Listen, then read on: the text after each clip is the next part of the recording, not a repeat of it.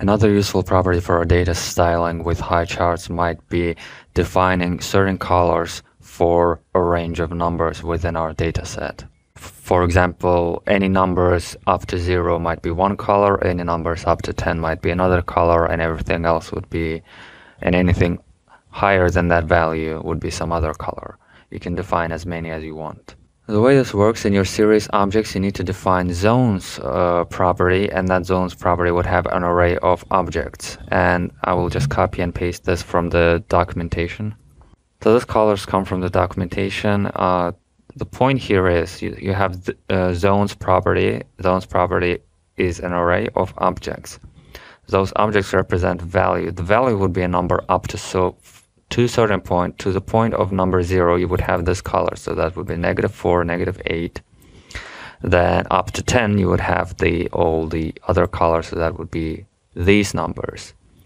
That is kind of bluish color. And anything higher than that, so that's 12, 15, and all of that, they would be this kind of green color.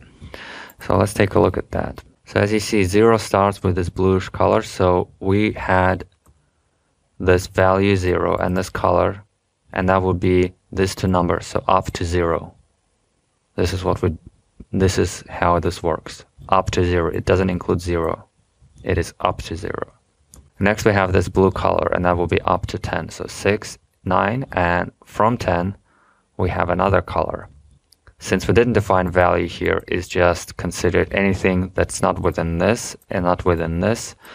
So anything higher than 9 would be considered this green color. So we have this 10, 12, 15, 10, and then we'll come back to our uh, defined code zone, uh, color zones.